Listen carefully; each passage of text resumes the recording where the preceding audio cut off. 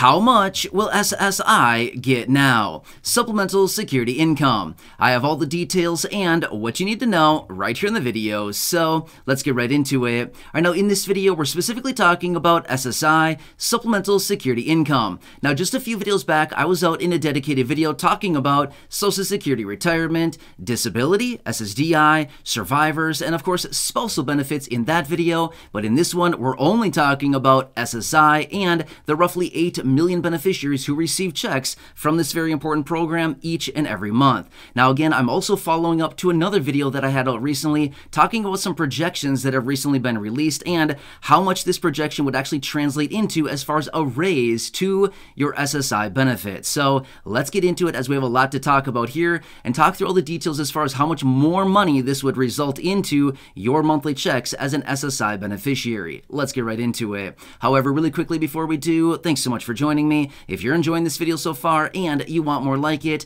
please make sure to subscribe right down below the video. It's totally free to do so, and I'm here for you every single day, no matter what, watching the latest details hitting the wire, doing the research and breaking it down into these short videos to help you out in any way that I possibly can by keeping you updated and, of course, pointing out anything out there right now that may impact you, your money, your benefits, your lifestyle, your bank account, and, of course, anything popping up you can possibly grab and or take advantage of as a low income or fixed income beneficiary. So, again, you got to stick together through this time. It's a very busy one out there. Things are changing rapidly. And again, I truly want to be here as any way that I can be. That's my promise. And as always, I'm sticking to it. All right. Thanks again. Subscribe down below. Let's get into it and talk about SSI checks, the projections that have been released, and what this may translate into as far as a raise to your monthly benefit. All right. So again, let me reiterate this really quickly. These are projections. In other words, this is just the best estimates based on the information that has been released. And again, these projections have been coming out a little bit here over the last couple months, and I want to break this down for you because these projections are unfortunately very low based on what is actually going on right now. But again, we got to watch this very closely because you never know what's going to happen here over the coming months as well, and how much this actually will translate into as far as what are the real numbers going to be. But either way, we probably want to watch this closely just to get an idea of what's going on here, as this will directly impact your monthly checks as an SSI beneficiary. All right, so right now, 2023, the maximum SSI benefit is $914. You know that, obviously, right? But here's the thing I want to point that out because that is the baseline we're going to calculate from. Now, if you saw that video as of recently, I was out in that video talking about the latest projections. Now, here's what's interesting. About a month, maybe a month and a half or so ago, some other projections came out as well. And in that uh, projection, and in that video about a month or month and a half ago, I said, the projections at that time were suggesting a 3% COLA next year in 2024. Now, again, I totally understand. We are still a long, long time for right now from 2024. I get it. We're a long time out from right now. However, we got to still watch this stuff closely, right? The months that are very important to determine how much the COLA will be are rapidly approaching, therefore, we probably want to pay attention to this, right? However, that is what they were saying about a month to month and a half ago. However, the latest projections are now coming out saying, well, we're looking at about a 2% COLA. A 2% COLA? where are you getting these numbers? you know what I mean? That's exactly what I expressed the other day in that other video as well. As saying, what are you talking about? A 2% COLA, inflation is still 6%. What are we looking at here? Because I think there's a major disconnect between actual real inflation, which actually pegs what the COLA is, and for these projections coming out saying, well, we're looking at about 2%.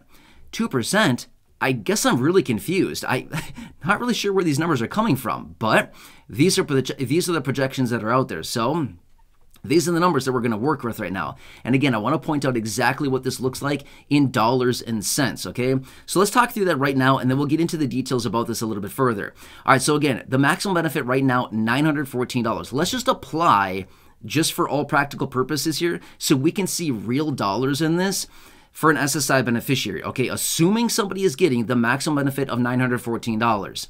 Applying a 2% COLA. I mean, seriously, 2%? You've got to be kidding me right now. But anyway, that's what they're saying. So let's just roll with it for a minute and be thankful that this is just a projection, that this is not the official number announced by Social Security yet, right? That's coming in October. We'll watch for that one. That's still a long time out from right now.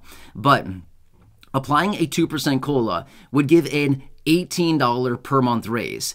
Nine, 914 with a uh, with a 2% cola applied would only be 19 sorry $18 a month, okay? That would take the maximum benefit from 914 right now up to $932. That's nuts, right? That that is like so low. But let me ask you this much really quickly, okay? I think we can all probably agree with this, but let's just use this as an example. Have your monthly expenses, as in you're buying the same things that you bought a year ago, you know, uh, you know, nine months ago, ten months ago, whatever, six months ago, are the things that you're buying today? Costing you more than $18 a month. And I'm saying you're buying the same food items, you're buying the same gas for your car, you're buying the same clothes, you're paying the same utility bills, the electricity, the gas bill, the phone bill, all of these things. Are all of these adding up? To more than $18 a month more than what you were paying, say, six months, nine months, 10 months, 12 months ago. I think the simple answer is yes, right? So, again, is this cost of living adjustment really accurate? I think we can all probably agree no, not even close, right? Many people are either coming out of pocket more by $18 more per month as an SSI beneficiary or cutting back on expenses because here's that uh, that's what it comes down to is either you come out of pocket more or you cut back because that's really the only options for a lot of people, right? Is either pay more and essentially, you know, either dig into savings or spend more of the check or possibly uh, go into debt, which I really hope that's not the case for people because we know right now debt is getting very expensive as the Federal Reserve continues raising interest rates, right? But again, we can talk about all that in a separate video. But this is what the projections are now showing, okay? So let's obviously hope that the projections are very wrong, and let's hope that this COLA actually comes in more in line with the maybe five, well, what I probably should say is about four to six percent would be probably a little bit more realistic based on what is really going on right now. But realistically, let's just be real again. Is inflation more like, I don't know, 7 to 9 to 10% right now on the real things that we're actually buying? I think we can all probably agree the answer is yes, right? Yeah, that's what's really going on. Even though the inflation numbers are coming in showing, oh, we're still sitting at about 6%. Well, that 6% averaged out across a basket of goods across the entire economy, right? That's kind of an averaged number right now.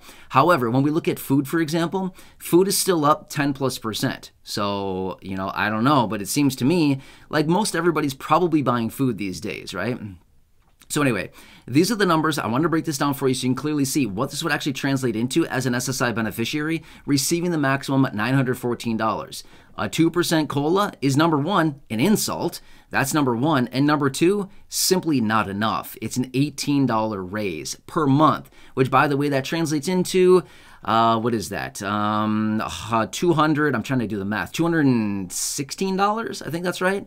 $216 a month, uh, sorry, a year that's not a month, that's a year. $216 a year more. Whoa. Wow. Now we're really cooking with gas. You know what I mean? I mean, obviously, I'm being sarcastic. That is not much, okay? $216 a year is honestly, like I said, that's just a plain old insult to people living on a fixed income who are struggling right now and looking for additional uh, resources and money. So, anyway, these are what the numbers are showing. Now, one more thing that we have to point out as well and everybody's very aware of this, but let me just point this out really quickly, which is the reduction of SNAP benefits. Oh, yeah, we got to take that into consideration as well, right? So that is something else that comes in, even though they're, they're giving a little bit extra money because of the COLA and, of course, you know, because of the cost of living and things are rising in prices. They don't take into consideration how much that money is taken away by reduction of SNAP benefits because income has increased.